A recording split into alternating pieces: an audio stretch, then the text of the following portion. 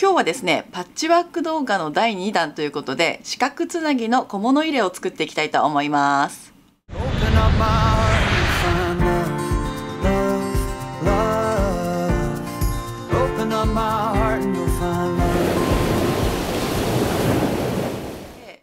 し前にヘキサゴンの玄関マットを作ったんですけれどもあのあちらの動画ねあの普段私の動画を見てくださってる方はおそらくあなんで今パッチワークなんだろうって思ったくらい突然の パッチワーク動画だったと思うんですよ。で私もなんかこう唐突に出しちゃったなと思ってあのあんまりこう皆さん興味ないかなと思ったんですけれども本当に意外や意外あのたくさんの方に見ていただいてですねでもしかしたらなんかこういう動画ちょくちょく出していっても大丈夫かもと思ったので 今日はね第2弾ということでね四角つなぎのパッチワークをやっていきたいと思います。で今回もねやっぱりもちろん初めてなんですよなので本当にねいっぱい間違えるだろうしあのいっぱいヘマしちゃうだろうし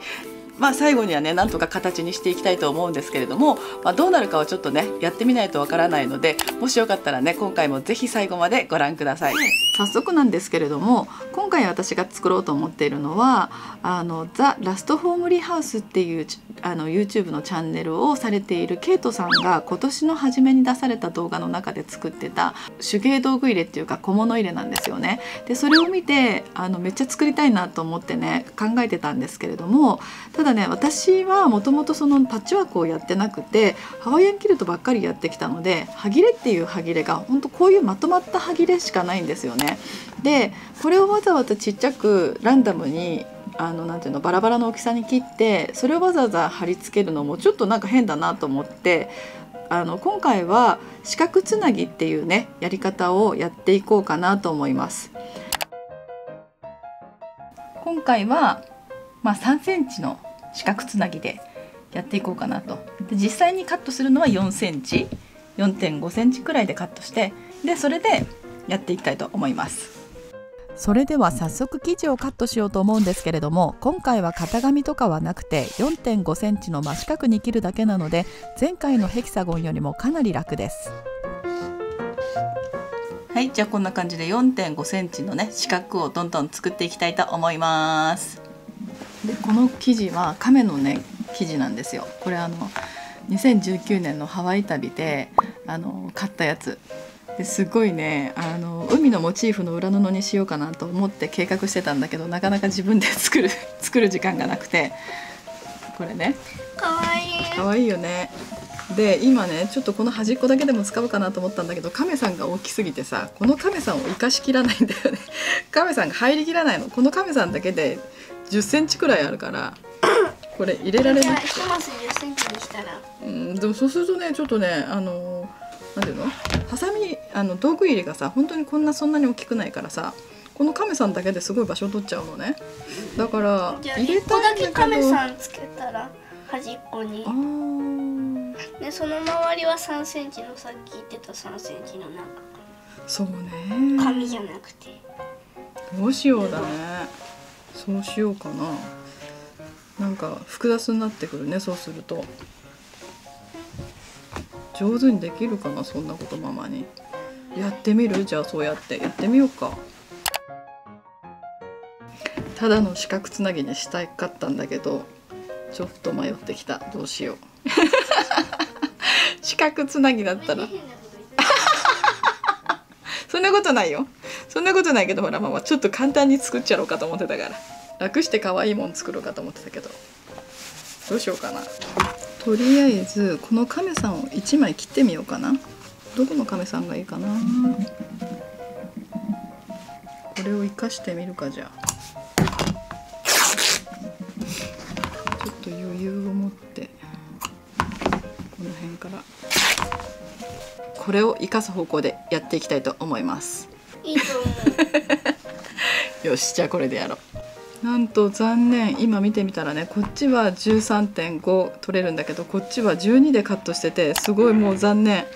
だけどこれは活かしたいのでこっち 9, 9センチ出る感じでこっちは12センチ出る感じでやっていきたいと思います。うまくいくかな？うまくいかなかったらちょっともう一回やり直そう。でもちょっととりあえずこれはこれでやってみます。ギリギリですね。じゃあこれが活かせるといいなと思いながらやっていきたいと思います。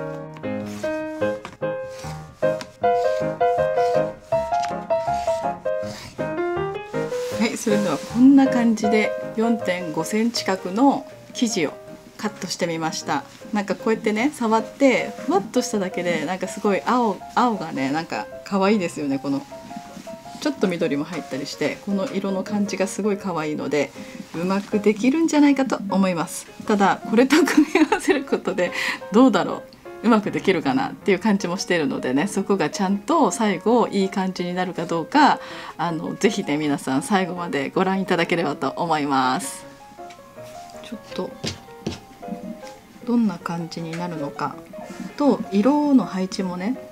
合わせてちょっと見ていきたいと思います。ランダムにランダムに。はい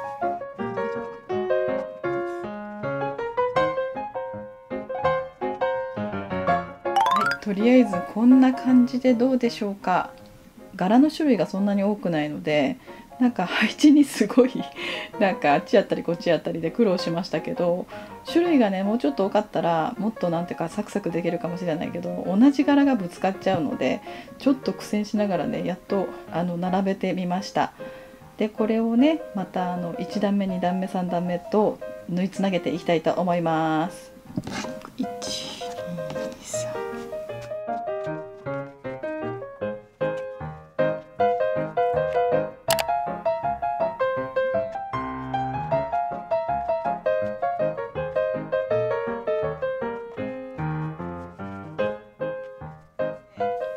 感じで数字を書いてねまとめておきましたであの気をつけなきゃいけないのはこの亀を挟んで上の段下の段っていうのがあって例えば右から4段目の亀を挟んで上の段亀を挟んで下の段っていうのはこういうふうに上下っていうふうに書いてねここで印をつけておきましたとはいえ前回もねこんなん書いておきながら間違えたので今回も間違えちゃうかもしれないんですけれどもまあそれはそれでよしとしてあの頑張ってやっていきたいと思います。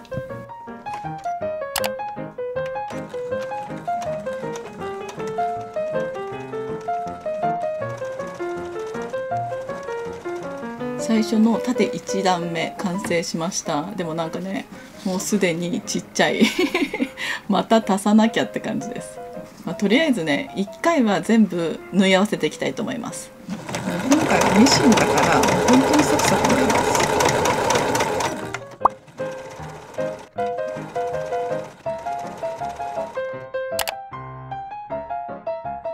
昨日始めてこの四角つなぎをねずっとつなげてきたんですけれどもねあの合間合間で。で昨日の時点ではあのここからここまで見るかな？端から端までねあの返し縫いなしでダダダダダって縫っちゃうっていう作戦で言ってたんですけどあの昨日ねふと気がついてこれ四角つなぎだからこれあのダーってここのね今縦のラインをずっと縫いつつなげていった後で今度はこことここをこう縫いつなげていくじゃないですかこうやって。でそうなるとここここで縫いつなげた時にここをね割らなきゃいけないんですよ。割るっていうのはあの倒してアイロンかけなきゃいけないんですよ。どっちかに。つまりとこんな感じで。こっちに倒して今度はこっちに倒してこっちに倒してこっちに倒してっていうヘキサゴンの時でいうところのこの部分この部分みたいに、まあ、倒してアイロンかけたいんだけれどもでもここをがっつりがっつりここまで塗っちゃうと倒せないんですよ。だからどうしようかなもう本当にそこら辺は雑にもうバババババってもうもう何でもいいから少しあの何て言うのもうボコってしてもいいからあのアイロンかけちゃおうかそれともこんな風にねあのやっぱり少し残してここみたいにちょっと開けてで返し縫いしてダダダっていってでここあの最後まで縫わずに手前であの7ミリくらい残して返し縫いしてっていうのをやろうかと思ってちょっとそこね考えてなかったなと思って失敗しちゃったなと思ったんだけど。ということでブツブツ言いながらも先に進もうと思うんですけれどもこの時点でまたもう一つ間違えているんですよね。パッチワーク経験者の方はああこここうする方がいいのにと思われたかもしれませんがこの時点では気づいていませんのでぜひ広い心でご視聴いただければと思います。できた。できてないけど。できてない けど。かわいい。かわいいねうんなかなかいいけどちょっとまだね大きさが足りないので多分ね上下左右にあと1週か2週くらい足すことになるんじゃないかなと思うんですけどもとりあえずこれで縦につないでいってみたいと思います、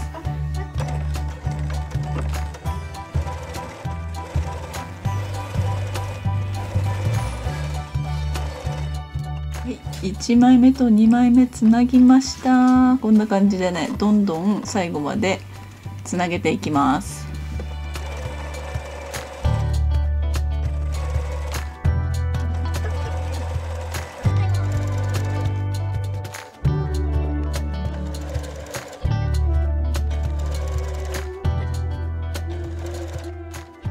なんとですねもうこの時点ですっごいたくさんいろんな間違いをやっちゃってます。あのまず一番の最初の間違いはもうこのね一つ一つに縫い代の線をね最初から書いておくべきでした。前回出したヘキサゴンの玄関マットの時は手縫いだったから裏のところにねあの縫い代線を書いてたんですけれども今回はもうミシンで適当にやっちゃおうと思ってね縫い代線を書いてなかったんですよ。でもそれは本当に間違いで最初からねこんなちっちゃいやつだけど縫い代線を書いておけばよかったなと思っています。でさらに言うとあの本当だったらねその手縫いの時だったらもうここをこう同じ方向に倒してでここを中央だけをね割るっていうやり方で、まあ、風車っていうやり方になるんですけれどもここを開くことができるんですよね。だからそのあのこっちに倒しこっちに倒し こっちに倒しみたいなねこんな感じでできるんだけれどもそれができない分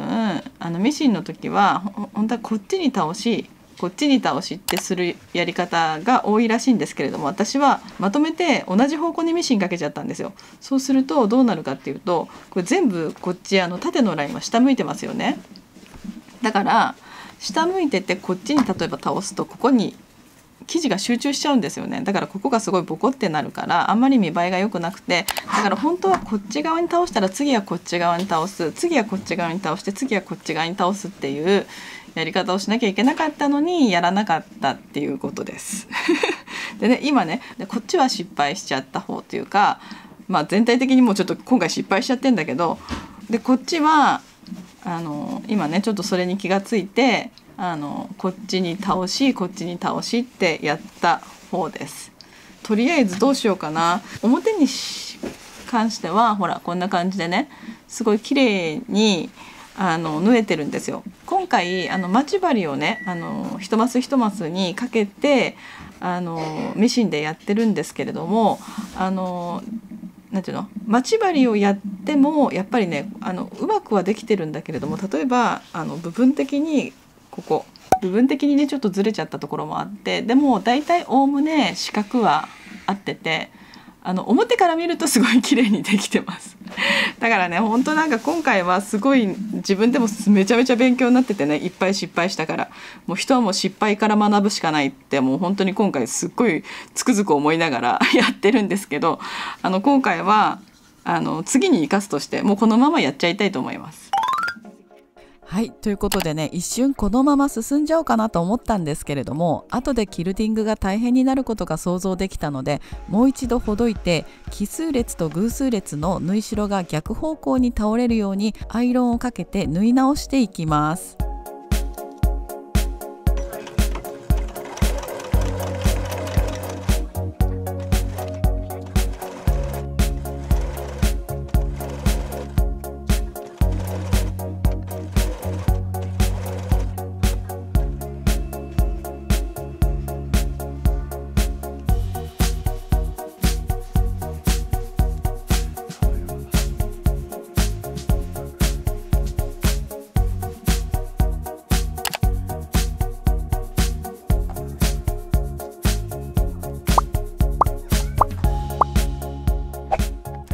そしてですね今回この亀さんを中央に配置することにしたので周りの四角のマスと組み立てた時にできるだけ角同士が合うようにここでトリミングをして合わせていきたいと思います。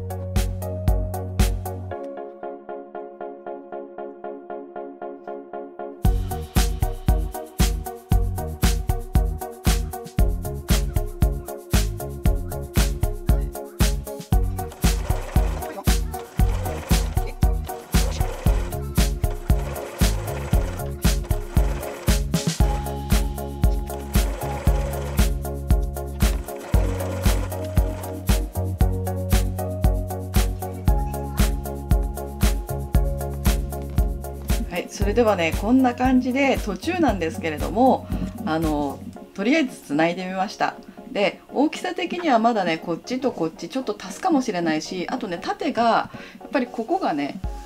あの横に長方形なのでその分ちょっと上下で2枚ずつ足してちょっと中途半端なところで切ることになるかもしれません。なんかこれを足しちゃったことで なんかあのちょっとややこしくなっちゃったんですよね。だから本当はこれも正方形で切ればよかったんですけれどもでもなんか心配してたこれを足すことでここがすごくずれるんじゃないかなって思ってたのが意外とそんなにずれもしなかったのでそこはちょっと良かったです。今回の目標の大きさに少し足りないので上下左右12列ほど足そうと思います。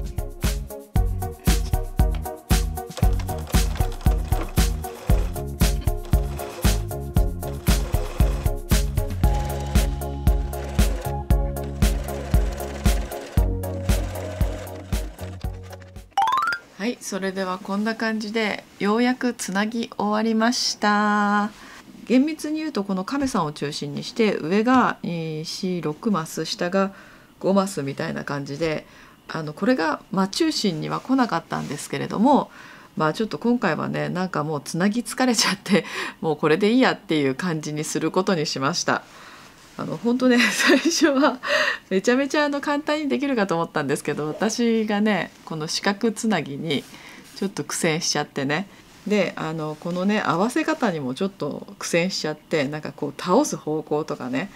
で何回もほどいてやり直したりしちゃってちょっと疲れちゃいましたでもなんか完成がねどうなるのかちょっと自分でもあの今のところまだ分かんないんですけどとりあえずこのまままた次の工程に行きたいと思います。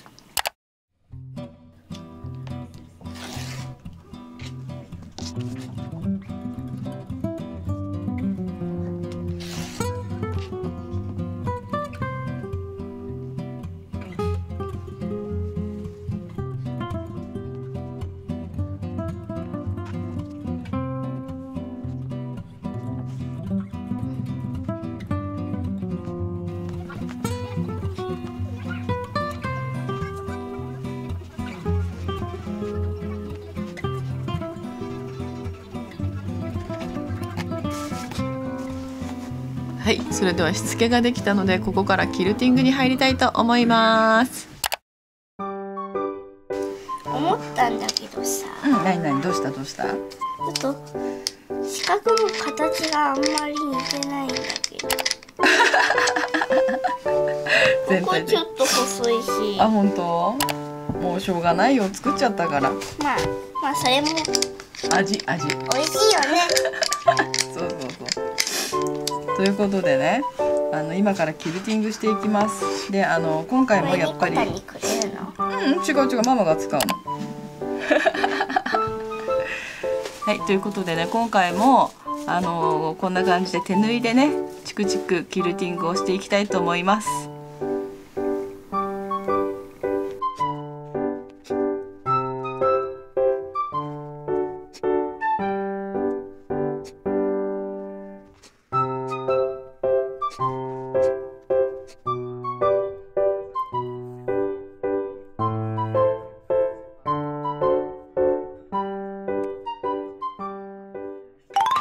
ということでこんな感じでようやくキルティングが終わりました。あの本当はね斜めにあのこういう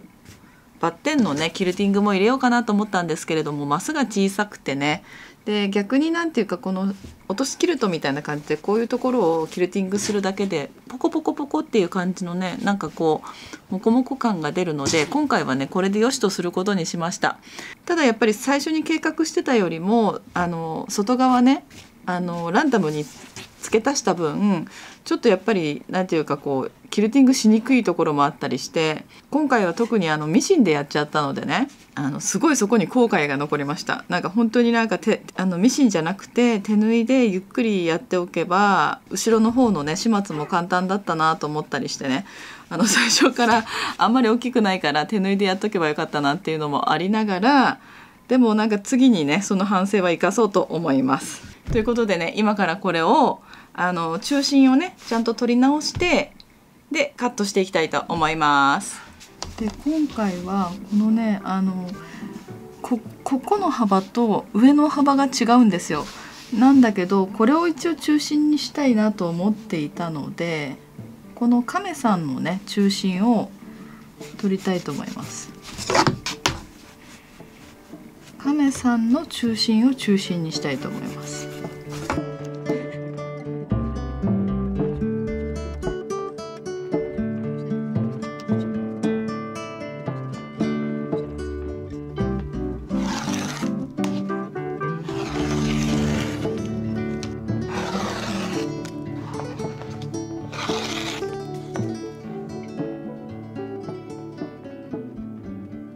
ねカットができたのでパイピングをしていきたいと思うんですけれども前回の時にはここの四隅を丸くして丸い感じのねこうパイピングをしていったんですけれども今回はね角がしっかり出るようにあのパイピングをしていきたいと思います。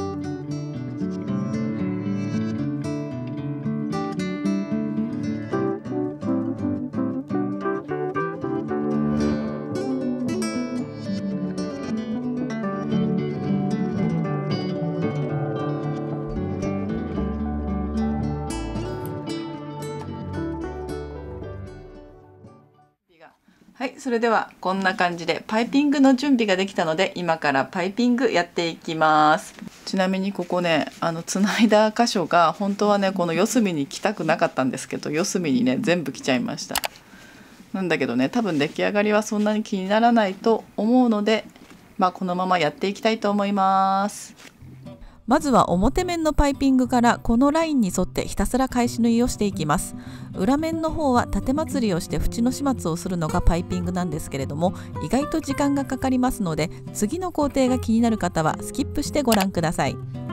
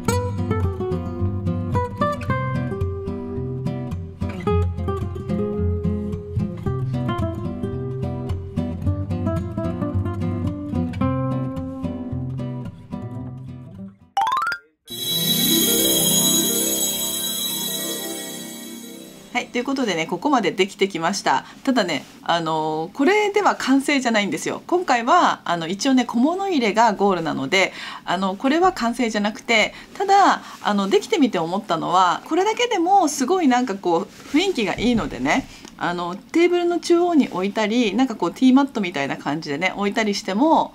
あの可愛いかなと思うんですけれどもこれはまだあのゴールではないのでここからね小物入れにしていきたいと思います。であの今回ね参考にしているのは前もお話ししたんですけれどもイギリスの YouTuber の、えっと、ケイトさんのチャンネルなんですよね。で今年の初めに出されていたあの動画を見てあんなの作りたいなと思ってちょっとこれチャレンジしてみたんですけれども全然ね色とかのなんだろうここのパッチワークのこの形とかは違うんだけれども最終的にはあのあれと同じ形にしていきたいと思います。そのために今からやるのがあのこんな感じでねこんな感じででこことここを縫っていってでここに紐をつけてでぐるぐるぐるっと巻けるようなね感じの小物入れにしていきたいと思うんですけれどもまずはここを縫ってねでそしてでこれはねバイアスじゃなくて直線でカットしたんですけれどもこれをねあのつけれるようにやっていきたいと思います。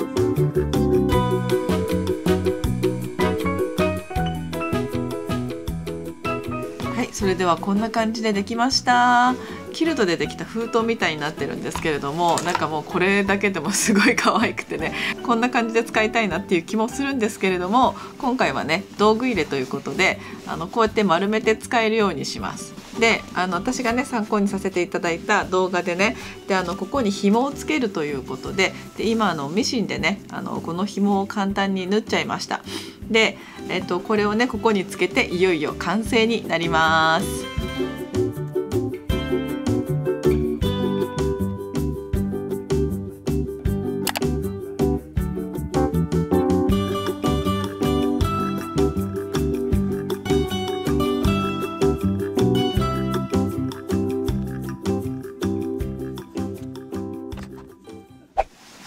れでは完成しました。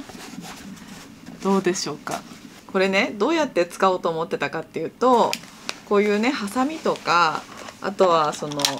こういうね、小さい小さいハサミとかね、まあ、こんなのとか、あとは歯切れとかね、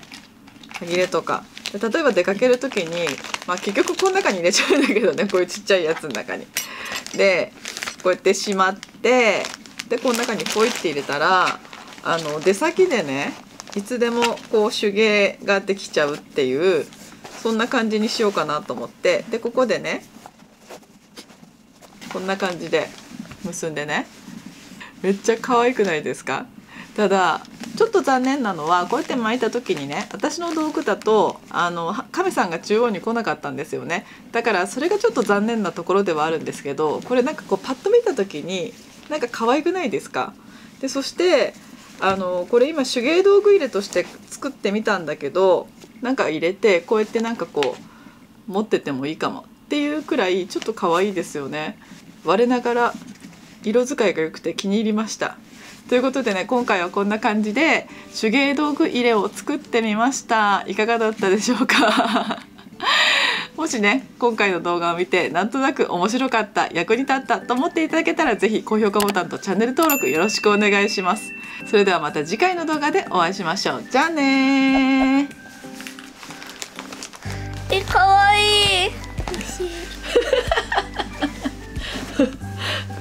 あげませんけどね。どう？でも。かわいい。うん。いいでしょいいなって感じ欲しいなって感じ。うん。だって猫だピンクがいいって言ってたじゃん。あ作ってくれんの、まあまあちょっとまだ考えてるけど。いいでしょ？かわいい。いいよねこれ。うん。可愛いね。うん